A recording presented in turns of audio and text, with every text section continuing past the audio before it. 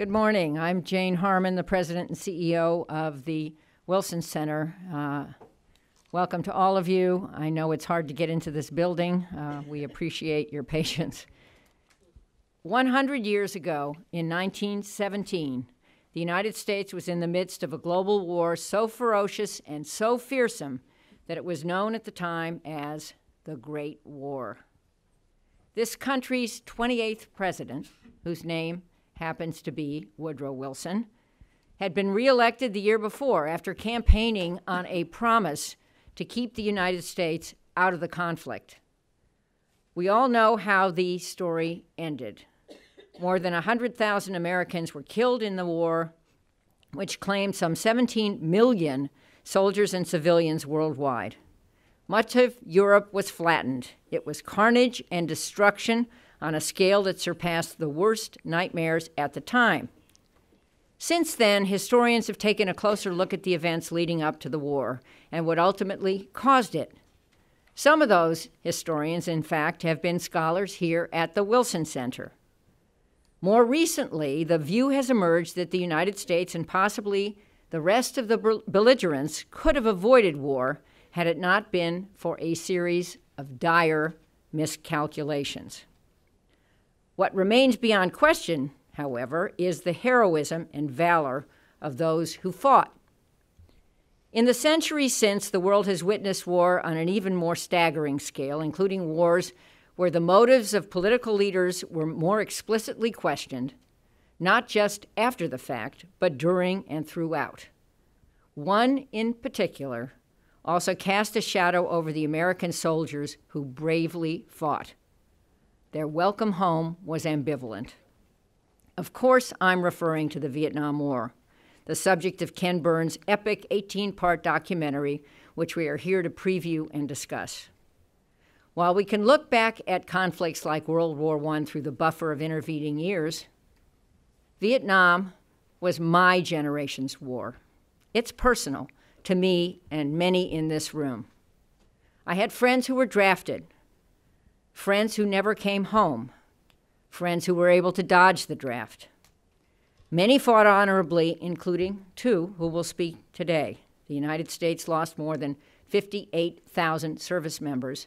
And on a wall in Venice, California, which was part of my old congressional district, is a name of the, those POWs and MIAs we still can't account for. Vietnam left a scar on this country, not just in our collective psyche or in a philosophical sense, but in real life terms. And the homeless on the beaches in California, Mike Mullen's old stomping ground, too, uh, from the Vietnam War, tell that tale. There's also an argument, uh, well, there are examples, there, there are an ex- uh, these people are an example of history as present day reality in flesh and blood, and an example of how we have yet to come to terms fully with the war and its impacts. That's also an argument for why we need historians. I'm sure that Ken uh, agrees that history is not only about the past and what really happened on the ground, it is also in large part about how much people know or admit or accept today as having happened. Indeed, the scars of history don't just heal on their own.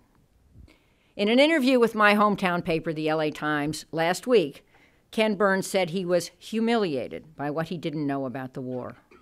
Well, the decade of work that he and his amazingly brilliant colleagues devoted to this project will now serve as an amazing, as an, as an impressive education for us all. Similarly, the work of the Wilson Center's award winning History and Public Policy program, headed by Christian Ostermann, whom I'm sure is in this room, provides exceptional educational value. Our digital archive, available for free on the web, includes an extensive collection of primary sources on the Vietnam War, including telegrams, minutes, and discussion notes from the mid 1950s to the end of the 1970s. Many of these materials were obtained by the Wilson Center from the hard to access archives of North Vietnam, and they include truly fascinating revelations. We're honored today to partner with the Better Angels Society to host this exclusive preview and discussion of the Vietnam War. Ken Novick uh, uh, Lynn Novick and Ken Burns are national treasures. I believe, actually, that Ken's only competition for leading public historian of our time is the musical Hamilton. he can't sing. That's what he just said. Our panel, I actually wrote that line. Our panel, and I can't sing either. Our panel, all friends, includes Admiral Mike Mullen, who served as chairman of the Joint Chiefs of Staff, among other things, while I was in Congress.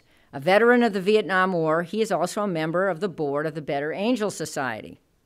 Former U.S. Army General Barry McCaffrey, who received three Purple Hearts uh, for injuries sustained during his service in Vietnam. Our moderator, Evan Thomas, is a journalist, historian, and the author of superb books, including a very thoughtful uh, book on President Eisenhower, who warned against going into Vietnam.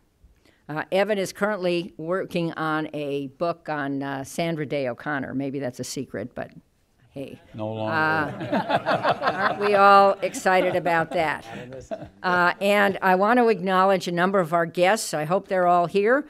Former U.S. Ambassador to Korea Mark Lippert, uh, Anthony Foxx, former Secretary of Transportation, John Parrish, Peede, acting chairman of the National Endowment for the Humanities, Nash, uh, Nancy Cable, board chair of the Better Angels Society, uh, two of our board members, Thelma Duggin and Earl Stafford, and numerous uh, members of uh, our, our, our, Wilson Council. I saw Ambassador uh, Stuart Bernstein, among others.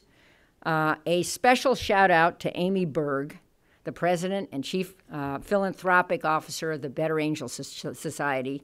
She is a friend from her long experience at the Aspen Institute and a wonderful, wonderful person. She's also a resident of the Jacksonville area and uh, says her house is okay. Sadly, so many were not. Uh, another shout out goes to the more than 20 military academies watching today's event via our live stream, including the men and women of West Point and the Virginia Military Institute. We honor your extraordinary uh, service. Finally, Thanks to the Bank of America for supporting Ken's work and this very special event. Please welcome Larry Di Rita, Bank of America's Head of Global Marketing and Corporate Affairs.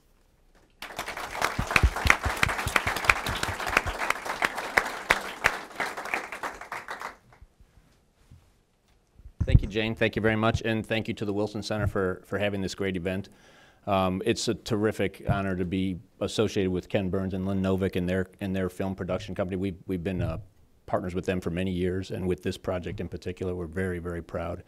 Um, on behalf of our CEO Brian Moynihan, my boss, uh, Vice Chairman uh, Anne Finucane, who uh, is the inspiration behind our partnership with Ken and Lynn, I uh, just want to thank you all for uh, coming today. Um, you know, we've had a Bank of America a really unique relationship with the military, and our partnership with Ken helps us highlight that. We, uh, we probably have 5% of our workforce that are former military out of 200,000 people, and uh, we hire about 2,000 military and former military families a, a year. So it's, it's a great uh, thing that, that we're very proud of. We, we operate, this is kind of a unique role that we play. Bank of America operates all the, mil- all the banking uh, centers on military installations around the world. So if you walk into the Guam or Kwajalein Island or Diego Garcia and go to a banking center, it's a Bank of America employee in there and it's a Bank of America banking center. It's something we've been doing for many, many years. We, we view it as one of the many unique relationships that we have with the military and we're very proud of that. So again, we're very proud to be associated with Ken and Lynn. Uh, it's a terrific honor to be part of this event today with these distinguished Americans on the panel and we thank you very much uh, for coming today and thank you. Turn it over.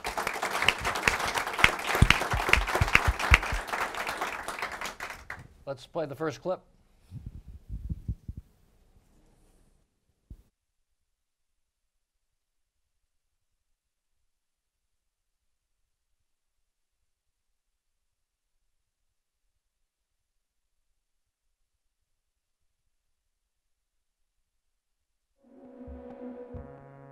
For all of John Kennedy's soaring rhetoric, for all the talent he gathered around him, the first months of his presidency did not go well.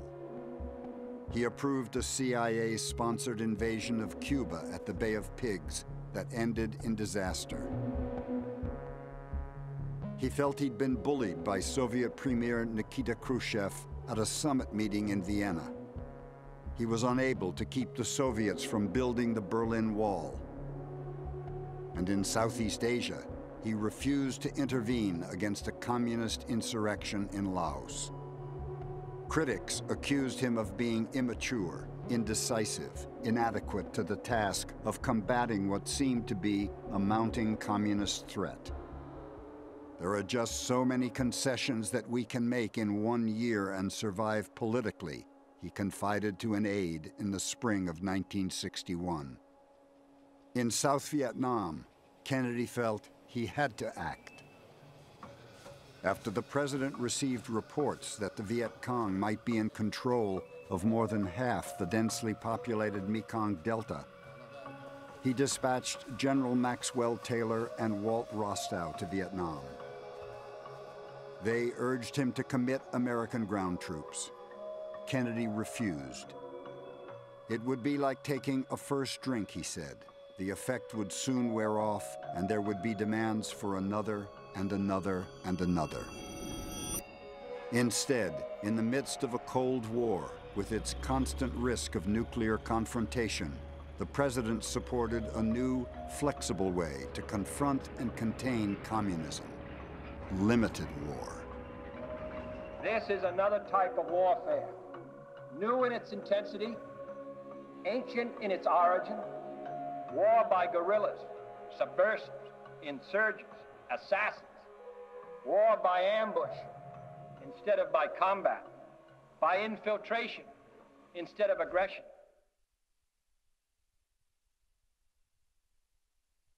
West Point in 1964. So you were a junior officer uh, when you got into all this. Did you think you were getting into a, a new war, new kind of war? Well, by the way, by background, 1960, we marched in the inauguration for Kennedy. Three feet of snow in the streets. Uh, we loved the guy. He was a hero to America. Uh, it's so painful watching that clip and uh, thinking about not just a new kind of war, but the, how we got involved in Vietnam. I told Lynn I took a delegation to Vietnam a few years back. Vietnam veterans, Jan Scruggs is here. Um, and it was, a, it was an incredible visit, but part of it was a sort of a growing recognition. Uh, the elections we made in a series of events in the early 60s that got us involved against the advice of all sorts of people, including my dad, who was a uh, colonel in the Pentagon at the time, and he and Andy Goodpaster and others who were Korean War veterans said, do not get involved in a war in the mainland of Asia. Uh, but I think at the time, and you know, in the '64 when we came out, the whole notion of a new kind of war was very attractive to us. Uh, you know, I was I got committed to the 82nd with the 82nd Airborne to an intervention in the Dominican Republic. When we got back, we raced to Washington, a carload of infantry lieutenants, to volunteer for Vietnam because they had just committed a Marine regiment and the 173rd Airborne Brigade, and we figured we had six months to get in the war before it was over. Oh, here a decade later, two million dead. And I think throughout the government, and Ken's and Lynn's film makes a good argument about this, this these were good, smart people yes. uh, making what in retrospect were disastrous decisions. Uh, Lynn, you mentioned to me uh, last night or the other night that uh, one thing you discovered was these great decision makers had a lot of doubts about what they were doing. And we, we heard it with, with President Kennedy. It's like taking another drink. Uh, I mean, talk, talk to us a little bit about that as you got into that, what, what you found there. for all of us working on the project, it's been a revelation to go back into the Pentagon Papers and the telephone conversations that we hear with Kennedy, Johnson, and Nixon to a lesser degree about the doubts, but the sense that privately they never could really figure out a way to see a future that guaranteed we would win the war. There was always tremendous doubt that it was possible, and yet there was also seemingly no questioning about whether, therefore, we should not be doing it. It was sort of a given that we're doing it, but yet we don't see a way to make it work. And again and again and again, we just, it's a devastating series of conversations and uh, revelations that, um, you know, it's hard to make sense of when you're next to brave Americans who went there and did their duty, not knowing that that's what our leaders were thinking at the time. So, uh, Admiral Mullen, you're in the Naval Academy in this period, uh, 64 to 68. I think you were class of 68. How aware were you, as a young midshipman, that there was this tension?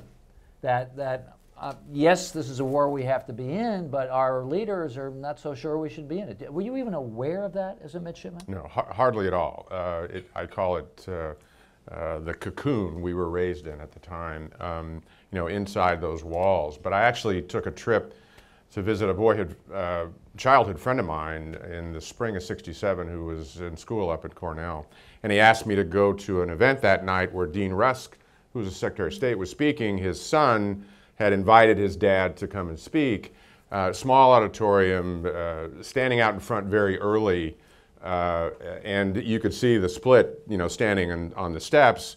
We go in, at, as I recall, it was about 2000, and there were two things that happened just before the president uh, uh, introduced to Secretary Rusk. They marched 13 women in in full black mourning garb to sit in the 13 seats that were in front. And as Rusk got introduced, and we sat down, half the audience reached under their chairs and pull out, pulled out skeleton masks. And I'm sitting in the middle of this going, holy cow, what is going on? And that was a real awakening for me. That Saturday was also the same night, I think, that McGeorge Bundy got kicked off the stage at Berkeley. So that was a wake up call in my third year, uh, but still back in the cocoon for the last year, not quite as much because we had the riots uh, at Baltimore and Washington. I was dating my, you know, then to be wife. Couldn't even get in to see her here because the National Guard had D.C. blocked down because it was burning. So there was, so that my education really started then. Uh, Ken, this is, I think, your third big war. Uh, are they all like this, or is this one different? They're all like this, and this one is different, Evan. Um, I think that the soldiers that we talked to on both sides, you know, we or all three sides, we had North Vietnamese soldiers and Viet Cong guerrilla, as well as a, a huge range of American military experience from the bottom up, less from officer uh, and and above, and you cannot help but remark on the similarity, and yet you also feel the uniqueness of this, the lack of support at home or the developing lack of support at home, the asymmetricality in a way that perhaps we had not experienced since the revolution in terms of us doing it to somebody else uh, in terms of the insurgency. And, uh, I, and I think Lynn explained it very well, just a sense of not sort of knowing at any given time, as, as LBJ says in an anguish tape, as the Marines are landing there at Da Nang in March of 65, I, I see no daylight. He, he, he sort of weeps, laments to Richard Russell, his, his friend. There's, I can't see any daylight in Vietnam. And nobody could see any daylight. And, and I think what you've seen from that very short clip is the way in which the politicians get boxed into feeling like they have to make certain decisions that don't really make sense in the long run. And we could back this up, General, to uh, 45, where the OSS is supporting Ho Chi Minh, arming the Viet Minh. He wants to change the name to the Viet American Army. He's quoting Jefferson when he declares Vietnamese independence. There's an OSS officer uh, right by him, and a few weeks later, the phone call's coming in, you know, this guy's a bad guy. We're going with de Gaulle. We're going to reinstate the colonial thing. And you can go back to Wilson, where he isn't given a petition that a very young Ho Chi Minh is submitting to him at the Hotel Crillon in Paris when they're sussing out the whole end of World War One. It is missed opportunities. I've likened it to the sign saying "Bridge out three miles, stop." Bridge out two miles, and we just keep racing through, finally busting through the barricades, and then we find ourselves in midair. Like, oh yeah, what happened? Let's, let's show that next clip because it has LBJ's anguish in it.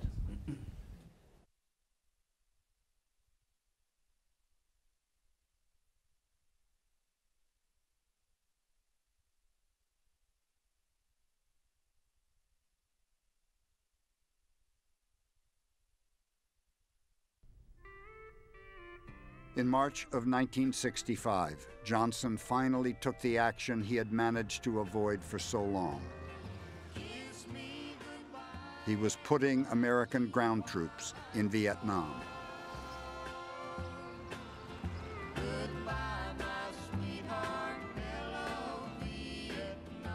The government of South Vietnam was not even consulted.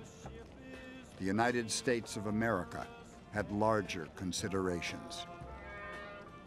Clearly, we saw it in terms of the Cold War.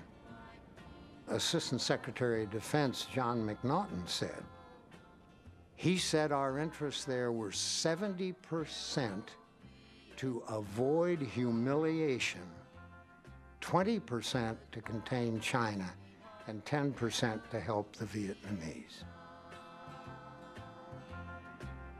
Johnson quietly told his good friend, Senator Richard Russell of Georgia, what was about to happen. I guess we got no choice, but scares the death out of me. I think everybody's going to think we're landing the Marines, we're off to a battle, and of course, if they come up there, they're going to get them in a fight. And if they ruin those airplanes, everybody's going to give me hell for not securing them, just like they did last time they made a raid. Yeah. What do you, what do you think? Well, it scares the life out of me, but I don't know how to back up now. It looks to me like we just got in this thing and there's no way out. I don't know. Uh, that's the great trouble I'm under. A man can fight if he's got if he can see daylight down the road somewhere. But there ain't no daylight in Vietnam. There's not a bit.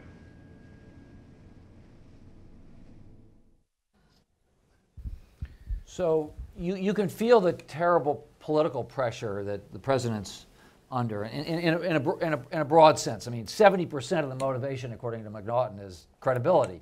But it does raise the question, uh, and we have military men I'd like to ask this of what is the duty of the military in this situation to warn the president what he's getting into, even if there are all these political ramifications?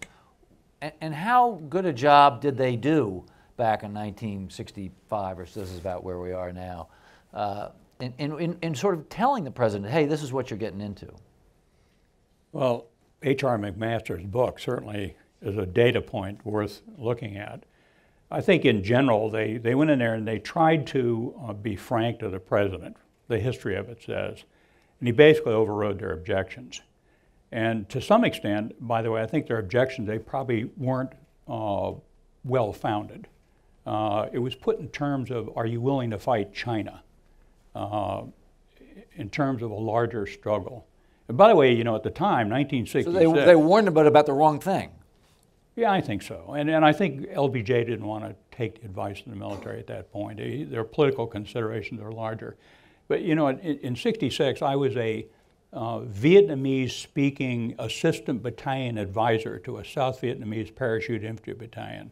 I was so thrilled I was there, I couldn't believe it.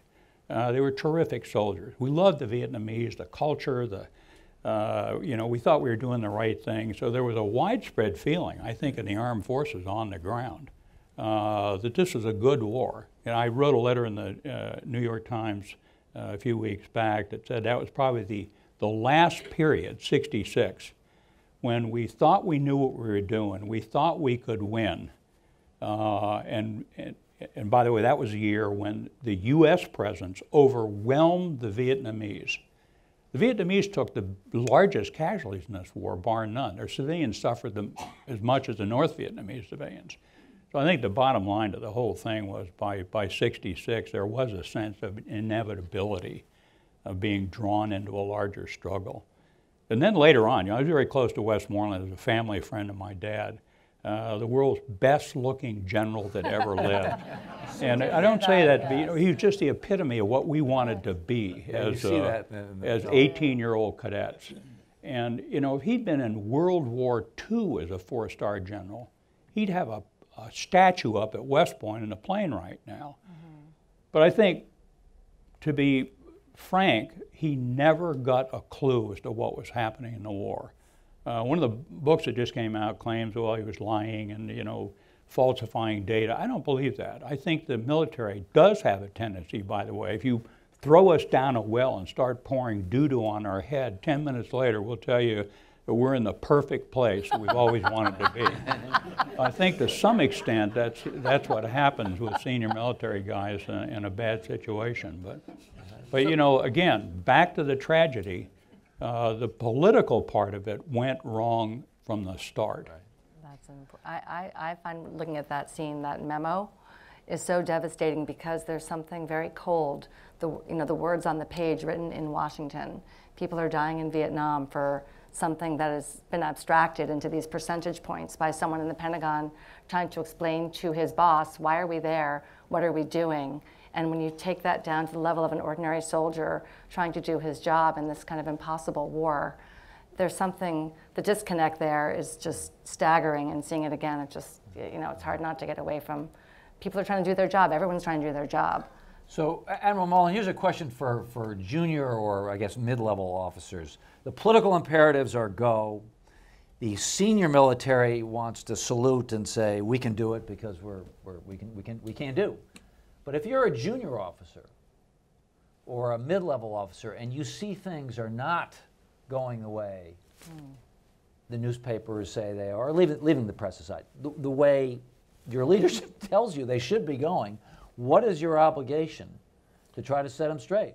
Well, I think part of what uh, Ken captures in this, and I've seen about half of it, is is the young ones who started to see it going south and were caught in this incredible trap of fighting and, and, and fighting for the guy on the right and the guy on the left, uh, while at least knowing and in many cases stating that it's not going well, with an expectation that that would move up the chain uh, and somehow be taken care of, as opposed to uh, the, the need to try to turn it around themselves.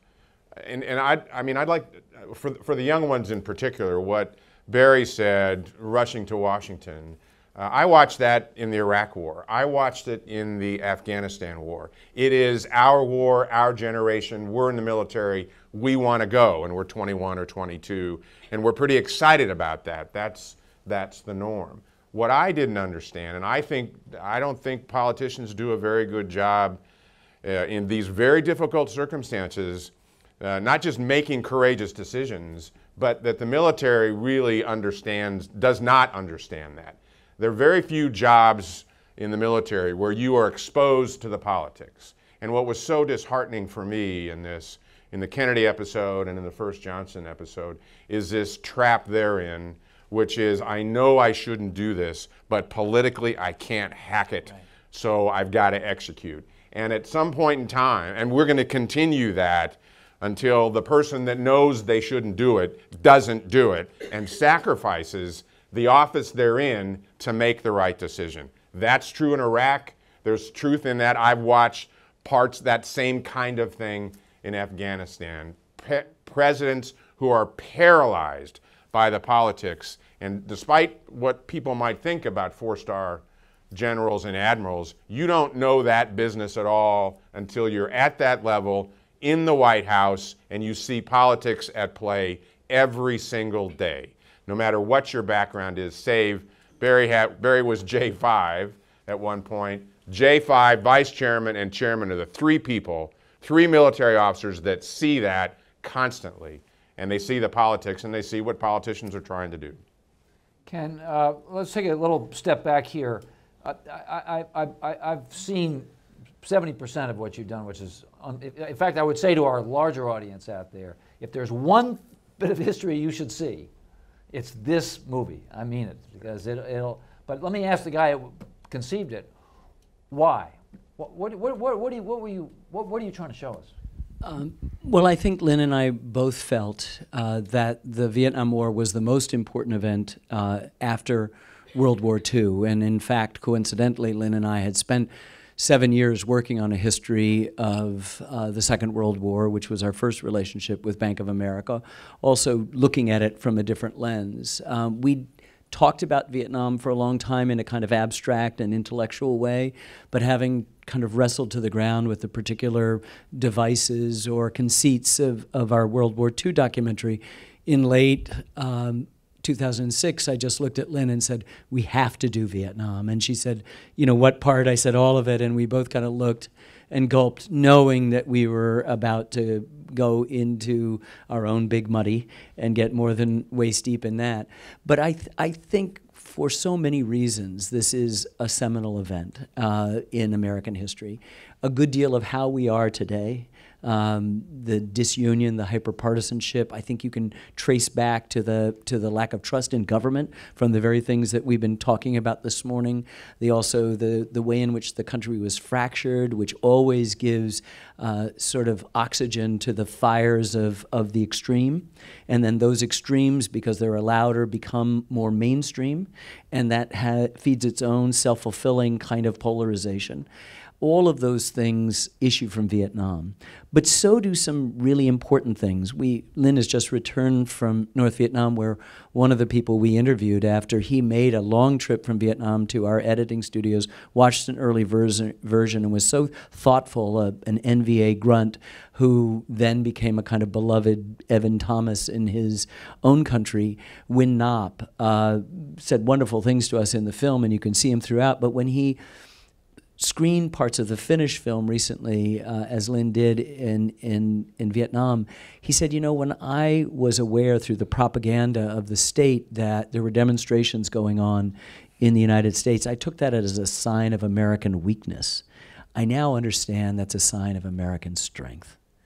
And um, it may require us to sort of permit people who are farther away to offer us that understanding that despite the obvious fact that many aspects of the Vietnam War seem irredeemable in their lessons, unlike Civil War, which ends slavery and unites the country, uh, unlike what World War II did, and not for various reasons, there may be really extraordinary things that we may be able to glean from Vietnam and be able to digest along with the, the classic series of mistakes and what went wrong and who was to blame and you know all of the things that are on the tip of our lips. I think there may be some hidden gems in there that, that we also felt that we could pursue that might be byproducts of just asking a question as our Marine does for us in the opening bite, what happened? What happened. And the new scholarship that's attended to this, the ability of people from all sides to speak so eloquently for us to try to bear witness to their testimony, to understand from declassified information and have the perspective that the passage of time has permitted may allow us uh, some daylight. Let's, uh, uh, Ken mentioned the, the war at home. Let's, the next clip looks at that.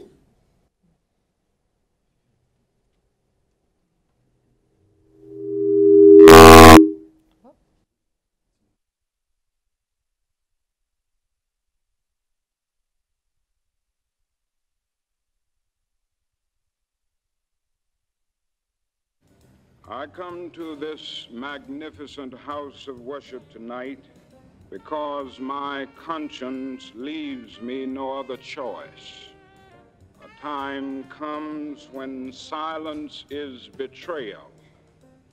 That time has come for us in relation to Vietnam.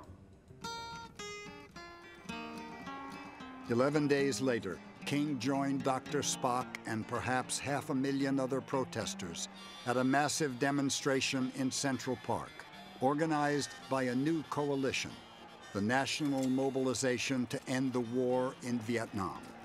Some time ago, crazy dream came to me. I dreamt I was walking World War III. That was the biggest crowd any of us had ever been in in our lives. And when the front of the march got down to the United Nations, the back of the march had not yet left Central Park. That's how many people we were.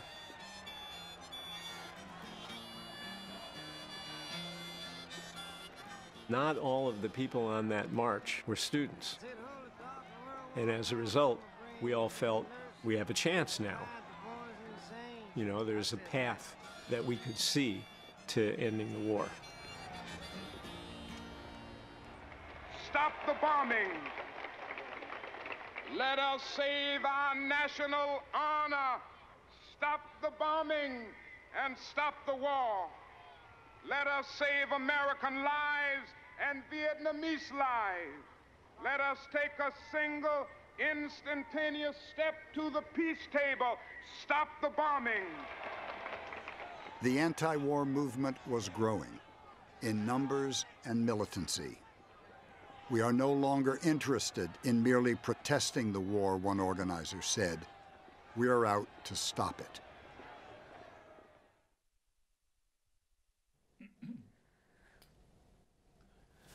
So, uh, General McCaffrey, you are, as that demonstration is going on, I believe you're in the field getting wounded three times. Uh, what did you think about the war back home?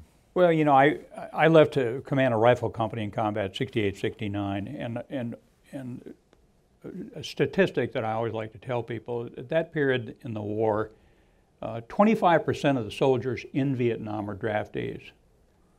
14% of the entire armed forces are draftees. In my company, 100% were draftees, except me and the first sergeant and maybe a lieutenant or two. So I was commanding a bunch of kids who were basically teenage uh, high school graduates. Uh, they saw all this demonstration when they left. And the first sergeant and I had to explain them why we were fighting. And as Mike Mullen aptly says, uh, I told him, look, we're here on a mission. We're trying to kill the North Vietnamese soldiers who we admired enormously. They were clean cut, well armed, tactically competent. Their regimental commander with a loincloth on would spend eight hours reconning our positions. We had great respect for the North Vietnamese Army, for that matter, the VC. Uh, but I had to tell these soldiers, you know, we're not fighting for the country, we're fighting for each other. So that, that whole period is so bitter in my wife's memory and our family and for that matter, my, my veterans, we have a reunion every two years, and these guys show up. They still call me by my call sign. I can't use my first name after 40 some odd years. And they will talk about hiding out when they came home from Vietnam, uh, grew their hair long, uh, went back to college, went back to work. Overwhelmingly, they did well, I might add. You know, a couple of them are multimillionaires uh, a lot of them were running, you know, welding shops and farmers. So they were great kids, but that was the environment that poisoned our view. You know, I tell people to this day, my wife hates three people, three kinds of people the media, American politicians, and generals. And she hadn't changed her mind about anything. when, uh, one thing that's great about this film is we've been we've been doing doing the thirty thousand foot view, of the leaders, but they're incredible um, scenes, scenarios of individual uh, fighters, warriors on both sides, and uh, so I'm interested from you how you chose them, what you were looking for, and what you heard in their in their voices, the people who actually were there fighting. Well, yeah, there was no single criteria, frankly. We looked for as wide a range of people from different backgrounds, different times of the war, because as the general's been explaining, people's perspectives evolved a lot. So someone who got there in 65 after the Marines landed and was optimistic about the cause and the purpose and the success of the mission compared to 69 when it's mostly draftees, people's different soldiers had such different experiences, so we tried to represent all of that.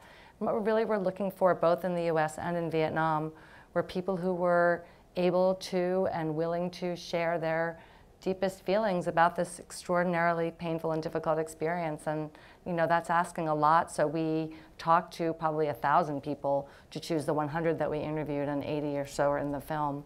And we've just been bowled over, just really blown away by the sort of honesty and openness and courage, really, of every single person in our film talking about these extremely difficult moments. And one of the things that comes across quite a lot, both among American and Vietnamese veterans, is you know sort of inner conflicts about the morality of the activity of war, what's involved, and how you survive it, um, how you go on living your life afterwards, how you do or don't find a way to talk to your closest you know people in your life about what you've been through. And at this point in their lives, so many people are just you know willing to let us in on this not really secret, but kind of closed off part of experience if you haven't been in combat, as Ken was saying, it's, you can't know it. It's very, very powerful. Uh, Admiral Mullen, I mean, one thing you hear in here is that there is a contradiction for these young warriors. On the one hand, they are supposed to be moral people. They are supposed to think about the morality of what they're doing. But on the other hand, they're supposed to just kind of close that off uh, to do their job, and because they can be paralyzed by it if they think about it too much. If you're a junior officer, how do you try to deal with that that, that tension when you're, when you're training young men and women uh, to, to handle that kind of dual obligation to be, both be moral but also to be a killer. Well, I mean, I think Barry, having you know been in the infantry, would would better answer this. My my take on that is that the young officers are really raw and really young, and they're trying to figure out how to both be in charge and make sure that their men in this case know what needs to be done and take care of them. So I, my sense is, I mean, when you're in the environment, uh, you're not thinking a lot about that. One, two, and, and I can translate that to Iraq and to Afghanistan.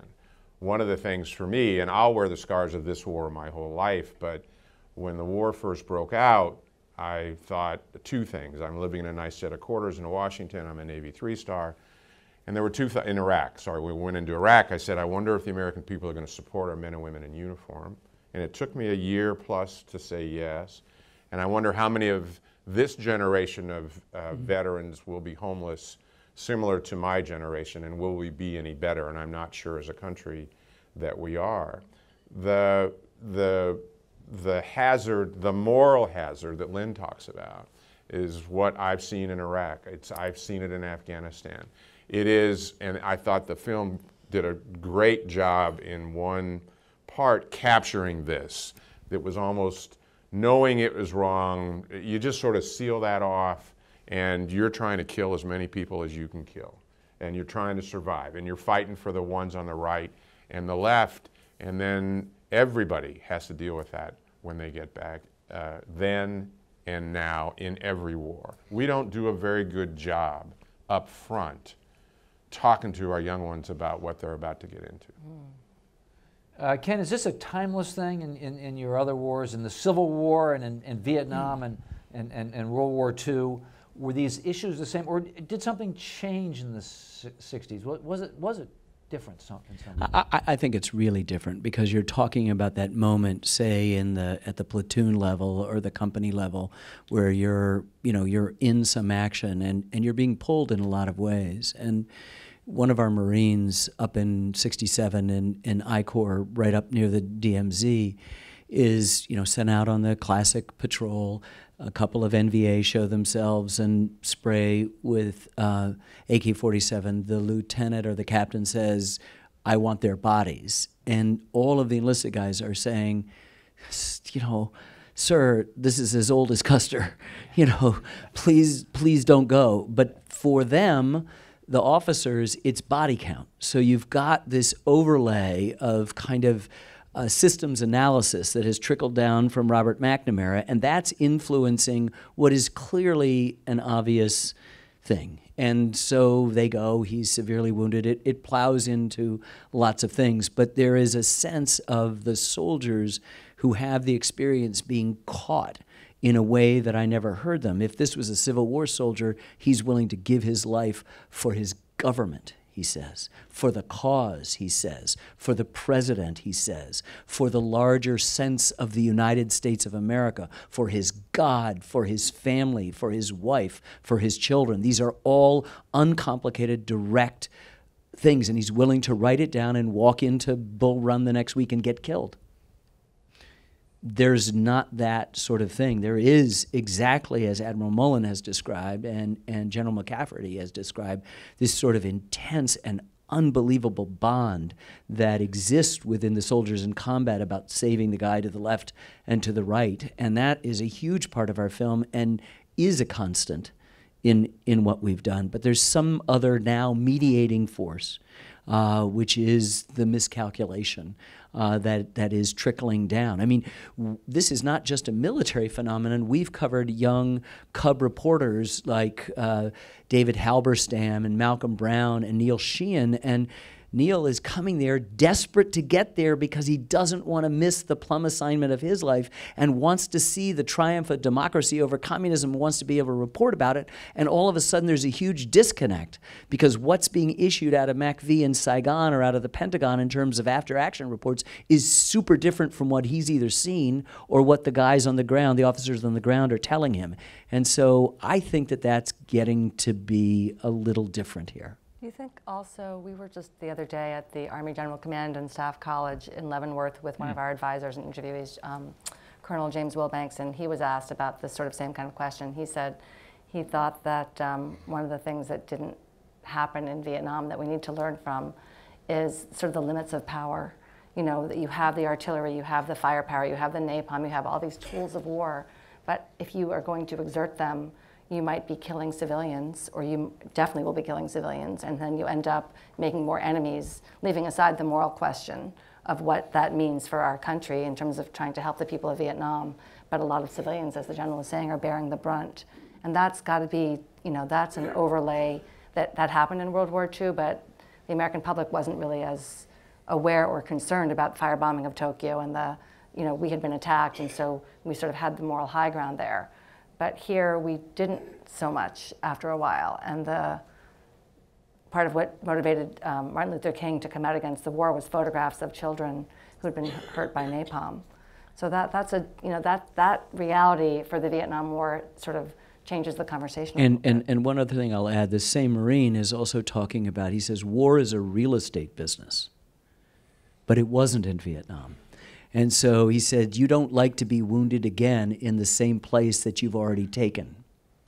And so you find this sort of sense that we're going to pursue the enemy, it's where the enemy is, but we're not going to collect real estate. And because you're not collecting real estate, you have these, you know, Sisyphean tasks, at least from the guys at the bottom, climbing up a hill at great cost, taking it, overcoming the enemy 99% of the time, winning, enemy dissolving before there's actually a chance for surrender or, or, or, or the sort of the ultimate prize. But then you cede that territory and find out a month later or a few weeks later or a year later that that might be another place to pursue the enemy. And so he says you don't like to be wounded in the same place twice. By the way, a comment on Jim Wilbanks. He wrote one of the best operational books on the war, uh, Lam Son 719. Mm.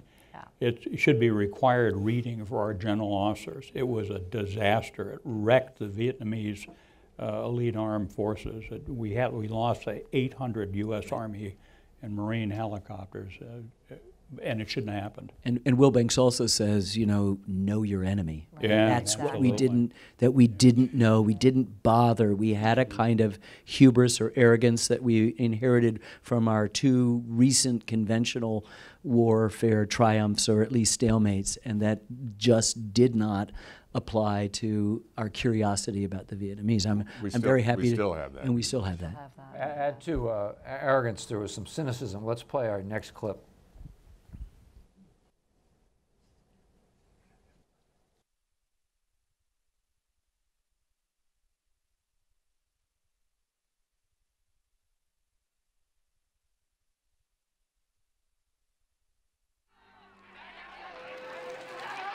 Opposition to the Saigon government is not just Viet Cong. How many governments actually care for the Vietnamese people? The student anti-war, anti-American movement is larger than its small demonstrations indicate. You don't need military aid to promote democracy in Vietnam, to return to the Vietnamese people their right, their the right to speak freely. You don't need even one penny. You don't need to consult the White House. You don't need to care about the American media. You don't need friends. You don't need Chinese. You don't need Americans. If you really care for Vietnam, then you turn back inside. South Vietnamese President Nguyen Van Thieu was campaigning for re-election. The Americans had insisted on it and urged him not to rig the race for fear it would resemble too closely the fraudulent communist elections routinely denounced by the United States. But Thieu made sure no serious candidates ran against him and claimed to have won 94% of the vote. It became known as the one-man election and added to the ranks of what was called the Third Force. South Vietnamese hoping for a negotiated settlement and an end to the bloodshed.